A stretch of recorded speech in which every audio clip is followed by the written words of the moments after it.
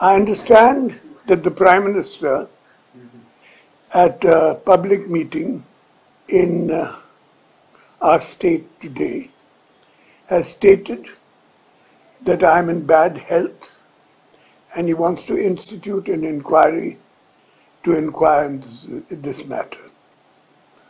If he was so concerned about my health, and he has stated publicly before that I'm a good friend of his, all he had to do was pick up a telephone and ring me up and ask me about his health, about my health.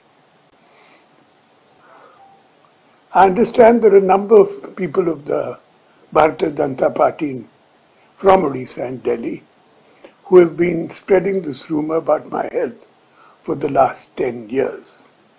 Let me assure the Prime Minister that I am in perfect health and I have been campaigning in our state for the last month.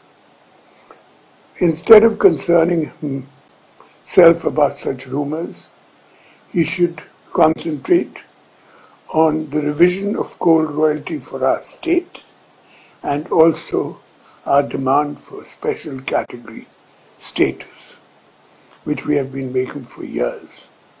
This will benefit the people of Orissa with all that funding. Now, if you will excuse me, I have to leave for Nimapara, where I am campaigning. Thank you very much. Sir एक बात करें साजिश की बात कि साजिश की जा रही है आपकी तबीयत खराब है इसलिए साजिश की जा रही है उसके पीछे कौन है उसका एक मकसद है एग्जैक्टली exactly, साजिश है या नहीं है और आपकी तबीयत भी कैसी है मेरी तबीयत बिल्कुल ठीक है नहीं तो मैं इस गर्मी में इतना कैंपेनिंग करता नहीं Sir, Prime Minister asked about a committee to be formed. What's your response?